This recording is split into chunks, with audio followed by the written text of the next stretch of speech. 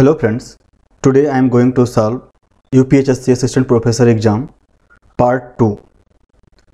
So this is old paper conducted on 15 December 2018, advertisement 47.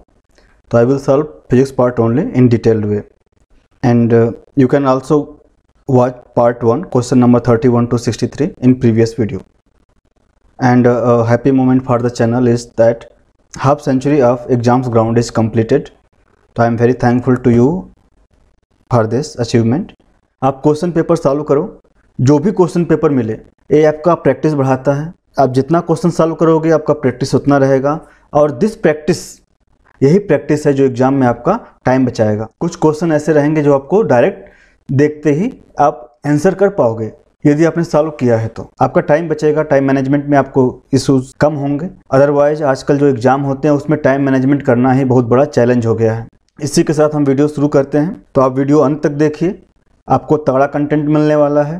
Let's start guys if all the individual measurement are equivalent then mean deviation is बोल रहा है कि जितने भी आपने measurement लिए हैं, सभी इक्वल हैं इक्विवेलेंट हैं देन व्हाट तो मीन डेविएशन का फार्मूला है summation i from i to n x i minus x average divide by n तो this is x average x bar if your measurements are equivalent then each quantity is equal to the your average value x bar so each term xi minus x bar going to give you a zero value so all the entities will be zero so 0 divided by n that's mean your mean deviation is going to be 0 option 0 is correct question 65 n fm signal is broadcast in 88.108 megahertz band having a carrier swing of 125 kilohertz the modulation index is.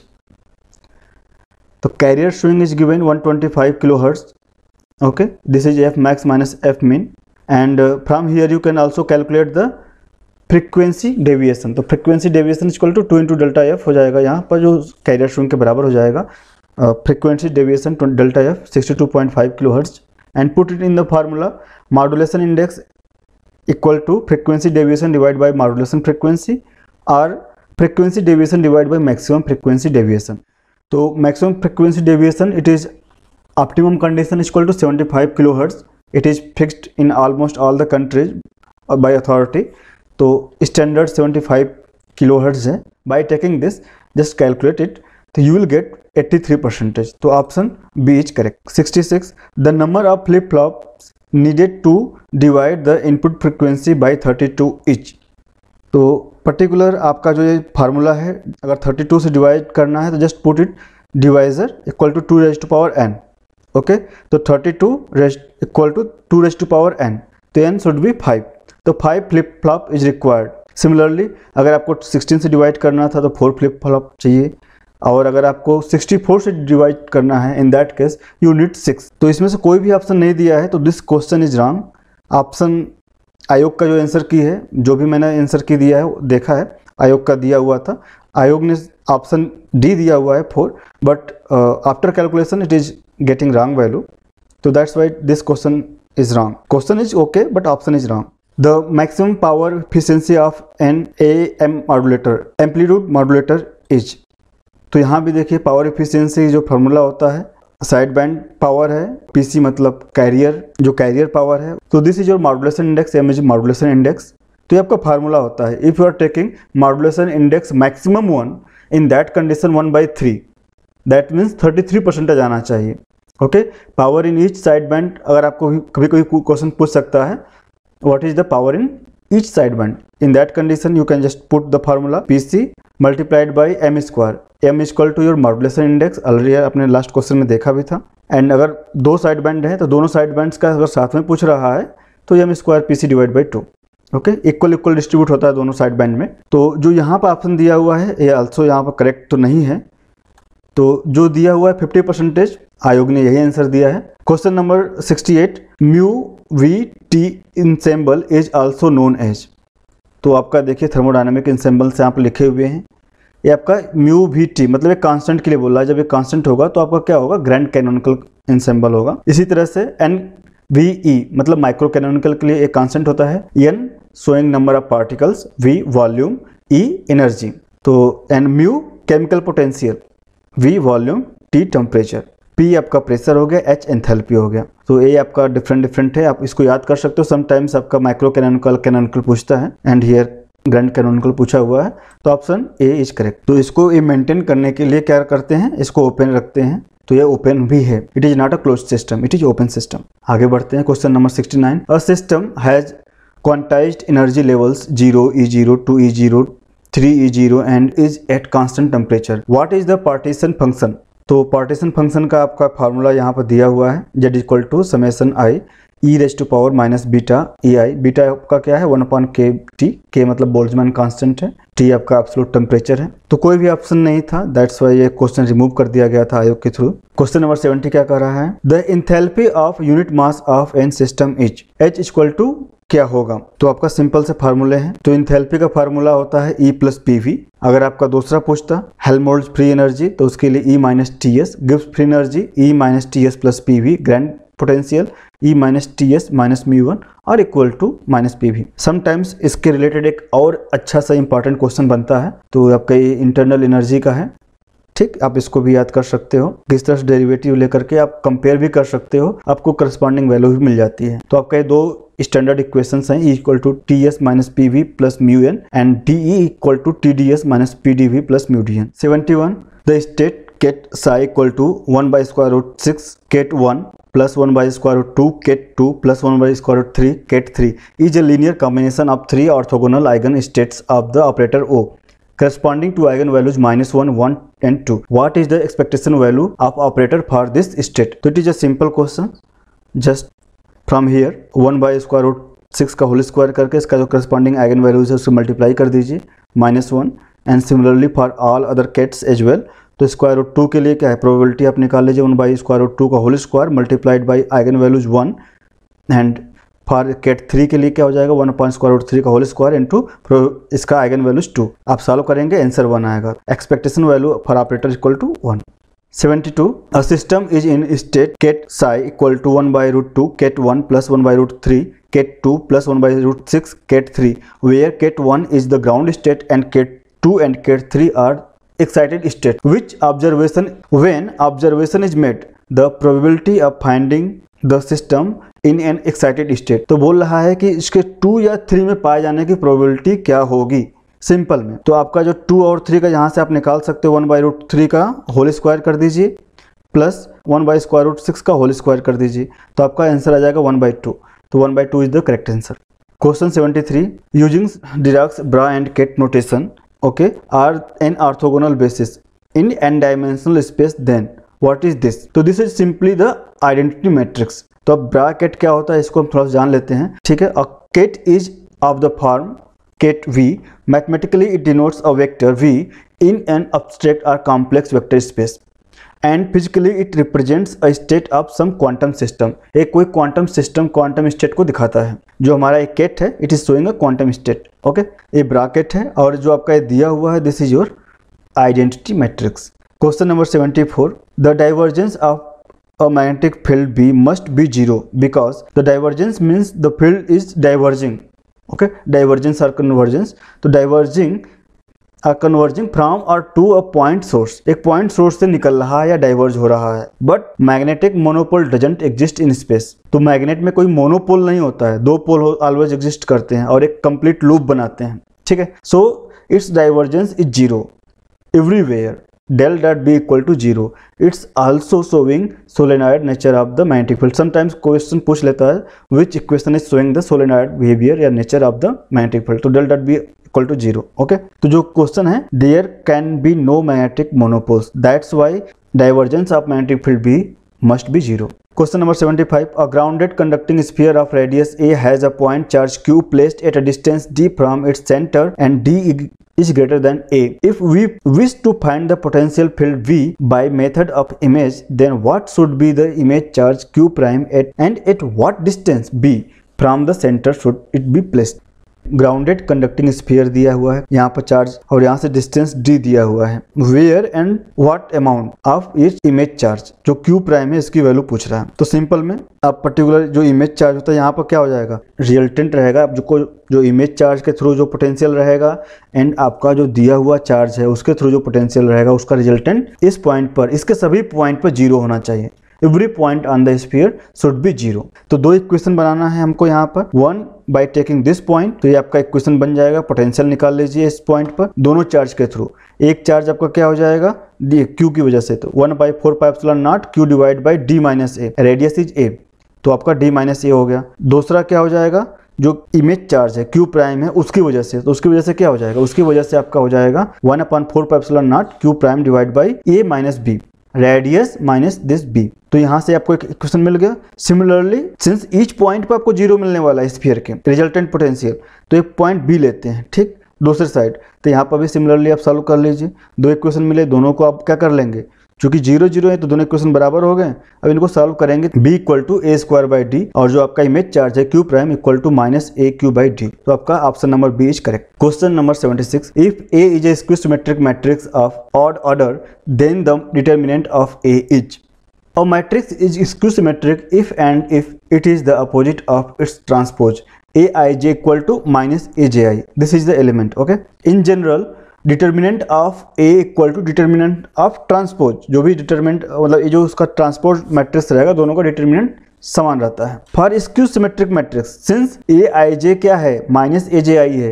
ये transpose का भी उल्टा कर दिया है। ए आई जे मतलब transpose लेंगे तो जे आई हो जाएगा ए जे आई उसका अपोजिट ले लेंगे तो माइनस साइन इज़ देयर तो डिटर्मिनेंट ऑफ़ ए ट्रांसपोज निकाल लीजिए तो यहाँ पर क्या हो जाएगा? Minus I raised power and determinant of A for n odd तो जब ऑड रहेगा in that condition it is going to give a minus sign तो determinant A transpose equal to minus determinant A तो जो a transpose का determinant होता है, वो डिटर्मिनेंट ए के बराबर होता है तो यहाँ से इसको इक्वल कर देंगे। तो determinant A equal to minus determinant A अब इसको सॉल्व करेंगे that implies determinant A equal to zero तो आपका option number C is correct which of the following equation is linear अब लीनियर पूछा हुआ है। पर्टिकुलर आपका लीनियर में क्या है? जो d y by d x जो वैल्यू है, जो आपका डेरिवेटिव है, ये पहले कम से कम एक नॉन ज़ीरो डेरिवेटिव होना चाहिए। डिफरेंशियल इक्वेशन की बात कर रहा है यहाँ पर।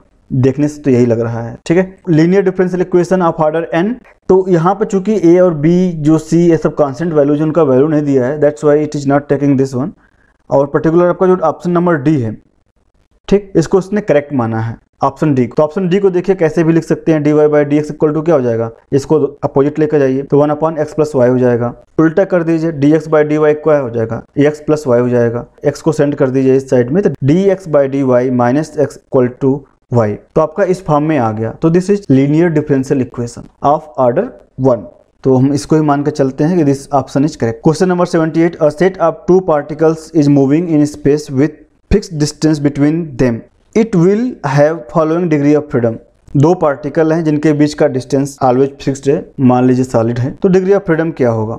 तो डिग्री ऑफ़ फ्रीडम का फार्मूला होता है फॉर थ्री स्पेस या किसी भी स्पेस के लिए बात करेंगे। अच्छा यहाँ पर थ्री के लिए लिखा हूँ। थ्री एन माइनस के तो एन नंबर ऑफ़ पार्टिकल्स है।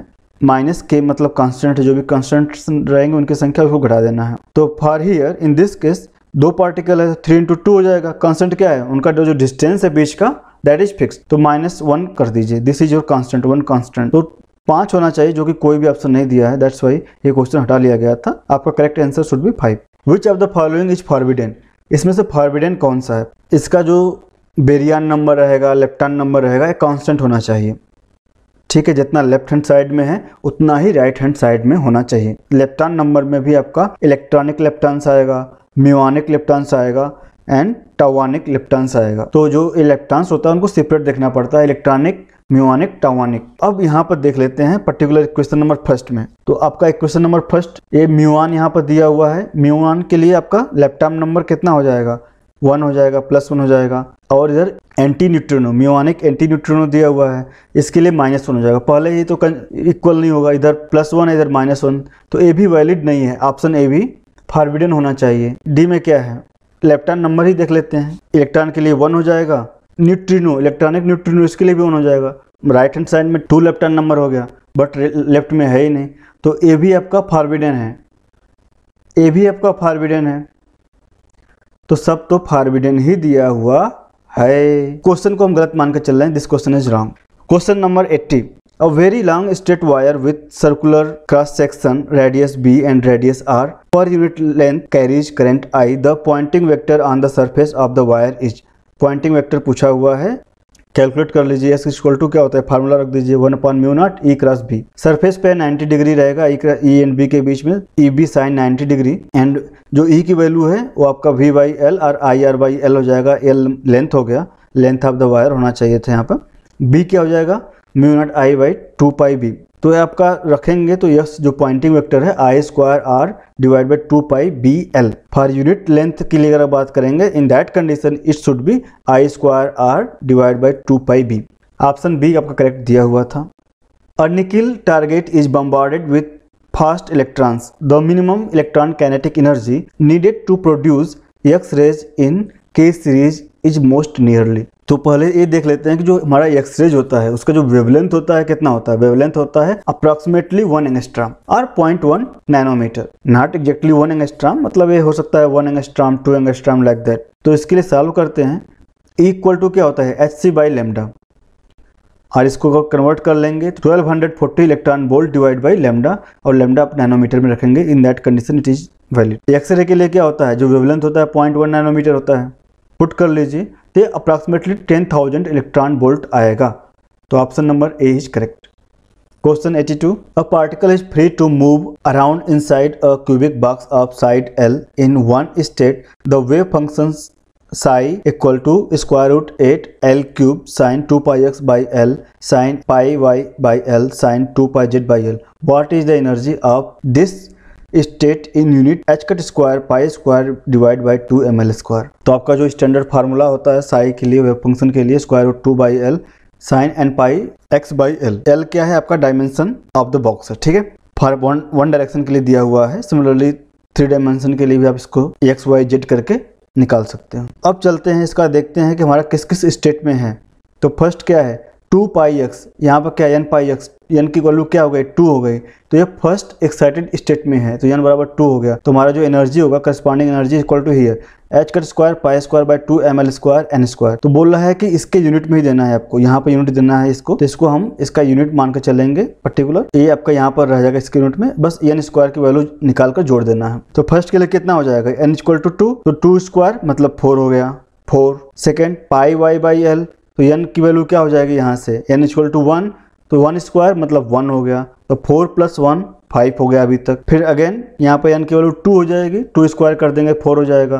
Four plus one plus four that means nine answer which one of the following matrix is Hermitian तो आपका हर्मिशियन मैट्रिक्स के लिए क्या होना चाहिए? आपका जो A equal to A dagger in that condition your matrix will be Hermitian transpose में क्या होता है? जस्ट अगर ट्रांसपोज की बात करेंगे तो ए आई जे का ट्रांसपोज ए जे आई होता है और उसका वहाँ पर कॉम्प्लेक्स कॉन्जुगेट ले लीजिएगा। कॉम्प्लेक्स कॉन्जुगेट लेने पर अगर वो इक्वल आता है in that condition your matrix will be Hermitian तो option B is only correct option next question eighty four Which of the following has Frankel defect? Frankel defect is a defect which is created when an ion leaves its appropriate site in the lattice and occupies an interstitial site. A hole or vacancy is thus produced in the lattice. Frankel defect is exhibited in ionic compounds in which the radius ratio is low. Radius ratio matlab radius ratio is the ratio of radius of cation to the radius of the anion. The cation and anion differ much in their size and the ions have low coordination number उसमें ये आपका Frenkel defect होता है। तो जो cation और anion का size क्या होना चाहिए? डिफरेंट होना चाहिए। एग्ज़ाम्पल है जैसे zinc sulphide, silver bromide, silver iodide, silver chloride.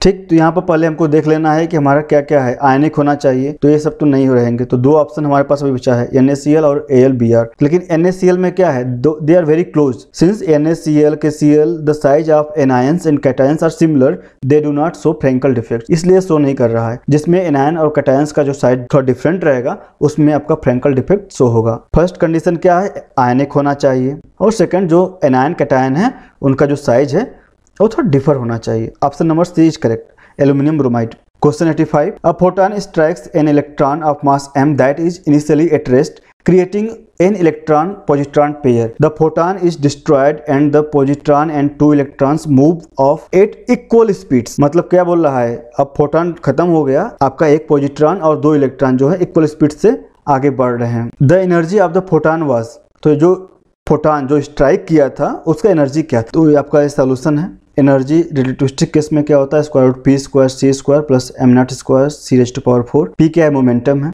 Total energy of the system शुरू शुरू में एनर्जी क्या था? आप देख लीजिए क्या था। रेस्ट मास ऑफ़ फोटन क्या होता है? ज़ीरो होता है। तो उसके लिए ए टर्म तो ज़ीरो हो जाएगा। तो बस पीसी रहेगा। Energy of photon equal to p c now electron electron rest में था शुरू शुरू में। इन दैट कंडीशन उसका मोमेंटम ज़ीरो हो जाएगा तो उसके लिए इलेक्ट्रॉन के लिए only m e c square बचेगा। तो ये आपका initial energy of the system हो गया। फाइनल एनर्जी क्या होता है? फाइनल में क्या होते हैं? तीन एंटिटी हैं। वन इज़ पॉजिट्रॉन और दो इलेक्ट्रॉन तीन है। और तीनों का मास क्या होता है? पॉजिट्रॉन इलेक्ट्रॉन सबका मास इक्वल होता है। तो सभी के लिए एम ई का यूज़ किया हूँ मैं। ठीक है? और मोमेंटम क्या होगा?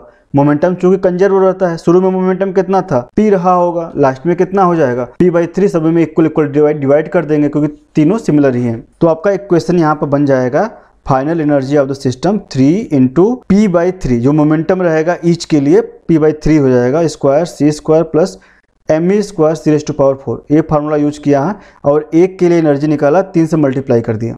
तो आपका ये सॉल्व करेंगे।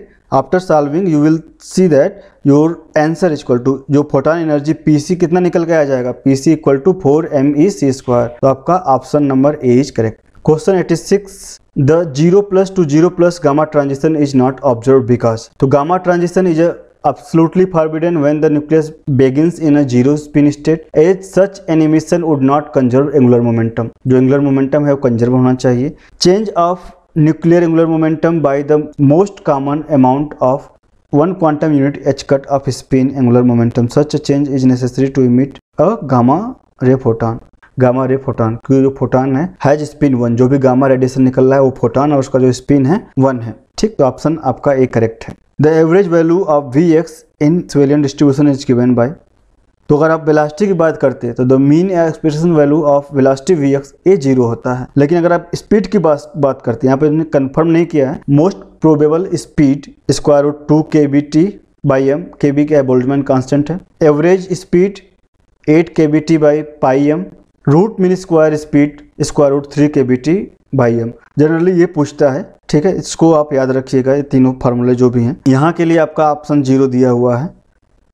Question number 88 when operated in cut off and saturation the transistor acts like a switch option b is correct in a bipolar transistor at room temperature if the emitter current is doubled the voltage across its base emitter junction तो इसको मैंने grey रख दिया है क्योंकि मुझको option नहीं लग रहा कि ये सही होने वाला है ऑप्शन सी डबल दिया हुआ है तो आपका ये डायोड इक्वेशन स्टैंडर्ड होता है current diode current equal to I S e to power V D divide by eta vt minus 1 id is the total diode current is reverse saturation current vd applied voltage across the diode eta in ideality factor values between 1 and 2 होता है vt thermal voltage होता है उसकी जो value होती है ये आपका 26 मिली वोल्ट होती है यहाँ पर बोल रहा है करंट को दुगना कर दिया जाए when you will increase the current two times तो आपका टू बाई वन रख दीजिए बाकी सब फैक्टर्स कट जाएँगे तो ये आपका आएगा take the log of both side तो L N two equal to V D two minus V D one divide by eta V T value put कर दीजिए एल एन टू की value zero point six nine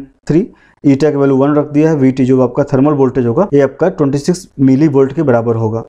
अब energy के term में देखेंगे तो 26 मिली electron volt हो जाएगा ई e भी आपका एनर्जी में हो जाता है तो यहाँ पर आपको 26 मिली वोल्ट हो गया। आप देखेंगे दोनों का जो डिफरेंस रहेगा that is 18 milli volt voltage is should be increase by 18 milli electron volt तो यहाँ पर कोई ऑप्शन दिया नहीं है। और ऑप्शन जो दिया हुआ है option is given it is double तो इसको मैं ग्रे लिस्ट में रखा हूँ, आप कंफर्म करो कि आंसर क्या सही है। आगे बढ़ते हैं next question 90 the value of IC in the figure given is तो यहाँ पर भी सॉल्व करते हैं।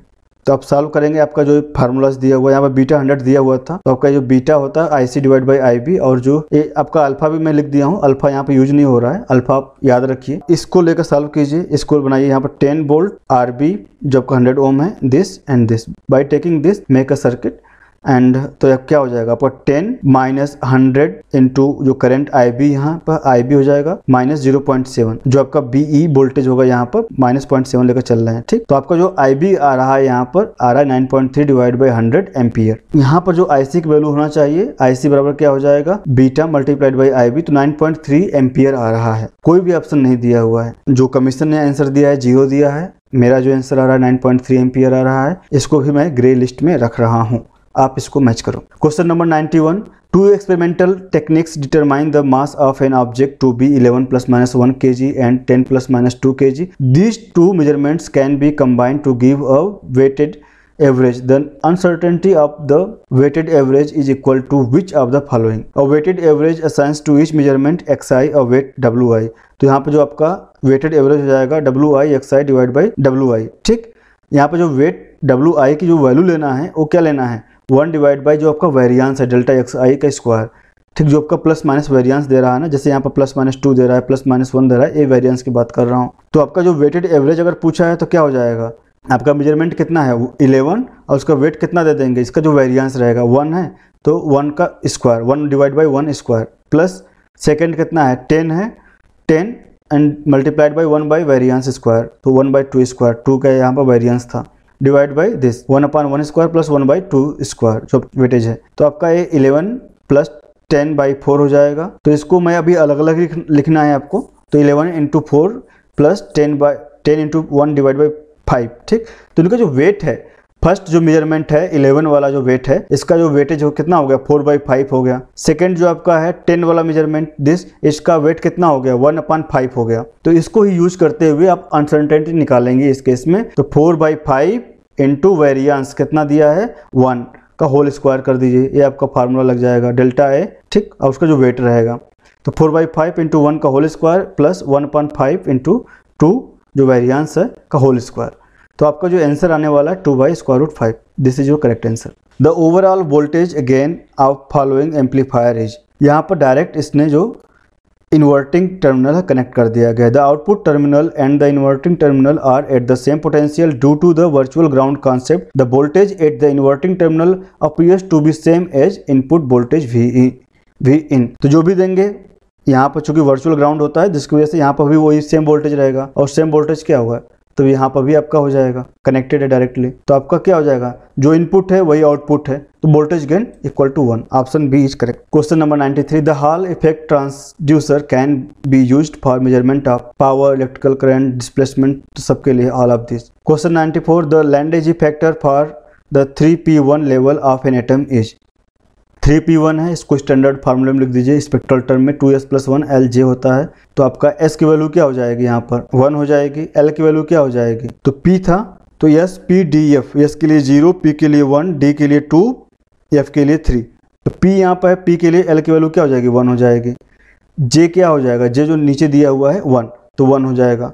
Put it in this particular formula 1 plus j j plus 1 s plus s s plus 1 minus l l plus 1 divided by 2 j j plus 1 रखेंगे 3 by 2 answer आएगा question 95 ls coupling occurs often in lighter atoms ठीक है in lighter atoms the coupling energy is low enough be treated as a first order perturbation to the total electronic Hamiltonian hence L S coupling is applicable to them ये heavier के लिए नहीं applicable होता है. For heavier atoms the coupling between the total angular momentum of different electrons is more significant so that J J coupling is better way to quantize the electron energy states and levels तो heavier atoms के लिए J J coupling lighter elements lighter atoms के लिए आपका L S coupling question number 96 which type of crystals are generally good optical reflectors तो ये तो metals है, आपका डायरेक्ट आंसर है। Guys please like comment and subscribe comment कर दिया करो। कम से कम पता तो चले आपको टॉपिक अच्छा लग रहा है कि नहीं लग रहा है, कौन सा टॉपिक लाना है, आपको क्या रिक्वायरमेंट है।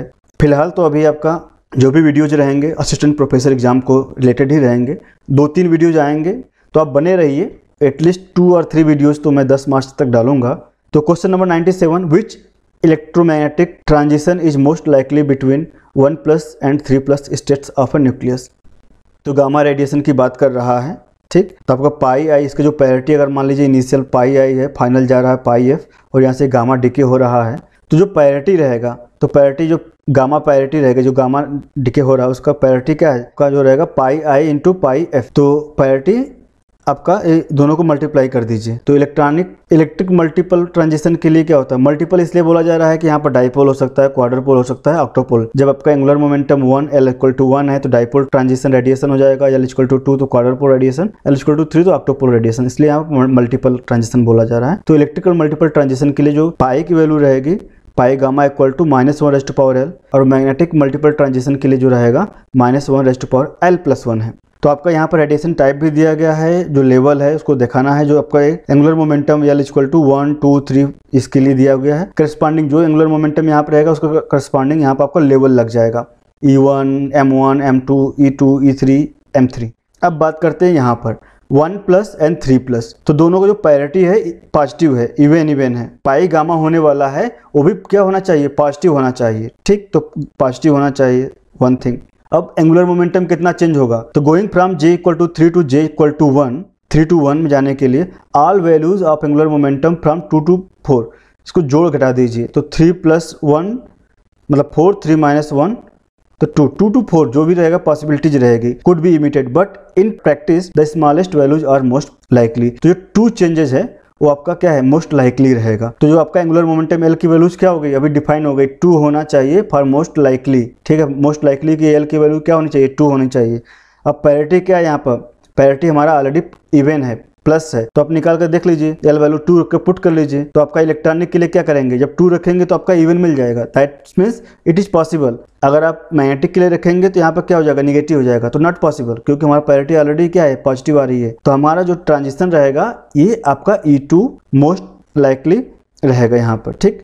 तो आपका ए वाला पर्टिकुलर ठीक? तो E two question number ninety eight thermal expansion in solid with increasing temperature is a consequence of anharmonicity of lattice vibration है इसका option. Question number 99 for low temperature, T less than T D Debye जो temperature उससे less है, model leads to. तो जो Debye temperature से जब कम होता है तो पर हमारा क्या होता है, लो टेम्परेचर की बात कर रहे हैं तो हमारा टी क्यूब के प्रोपोर्शनल होता है। तो सीधा आपको देख के ही आंसर मिल जाएगा। टी क्यूब कहाँ है? बस एक ही ऑप्शन में है, बाकी किसी में नहीं है। यहाँ पर वन बाई टी क्यूब दिया हुआ है यहाँ पर वन बाई टी फाइव दिया हुआ है यहाँ पर टी फाइव दिया हुआ। है तो this are not correct, only this A is correct but low temperature पर प्रोपोर्शनल टू टी क्यूब होता है। Option A is correct last question question number hundred शतक की बात चल रही है भाई। आईपीएल भी आने वाला है चैनल भी चलने वाला है। दोनों चलेगा, ठीक है? आप भी सेंचुरी लगाओ। सब्सक्राइबर्स की नंबर ऑफ़ सब्सक्राइबर्स हंड्रेड पहुंचाओ। ओके गाइज़ तो क्वेश्चन देख लेते हैं। A sample of radio active nuclei of a certain element can decay only by gamma emission and beta emission. If the half life of gamma emission is 24 minute and that for beta emission is 36 minute the half life of the sample standard formula है, इसको use कीजिए। Effective life time क्या हो जाएगा? One upon T equal to one upon T one plus one upon T two तो ये आपका दिया हुआ एक का ट्वेंटी फोर मिनट है तो वन बाई ट्वेंटी हो गया। प्लस दूसरे का कितना दिया है? थर्टी सिक्स तो one upon thirty six solve कर लीजिए। तो जो आपका इफ़ेक्टिव लाइफ टाइम हो जाएगा T equal to seventy two by five that's means forty point four minute option number C is correct तो इस तरह से आपका क्वेश्चन नंबर हंड्रेड भी कंप्लीट हो गया। बहुत बोर हो गए होंगे आई अंडरस्टैंड लेकिन कुछ पाने के लिए कुछ खोना पड़ता है टाइम तो देना पड़ेगा गाइस इस तरह से यूपीएचएससी एडवर्टाइजमेंट 47 का जो भी क्वेश्चन थे फिजिक्स रिलेटेड सबको सॉल्व कर दिया है। अगर आप पार्ट वन नहीं देखे हैं तो पार्ट वन भी जाकर देख लीजिए अपलोड किया गया है। तो तैयारी करते रहे guys good luck for your exams and जो भी सुझाव हो प्लीज़ कमेंट में लिखिए। कोई भी आपको रिलेटेड टॉपिक चाहिए, उसको भी लिखो। कोई मोनोटोनी हो जा रहा हो, कोई पढ़ने मज़ा नहीं आ रहा, उसको भी लिखो। अच्छा लग रहा है, उसको भी लिखो। Bye bye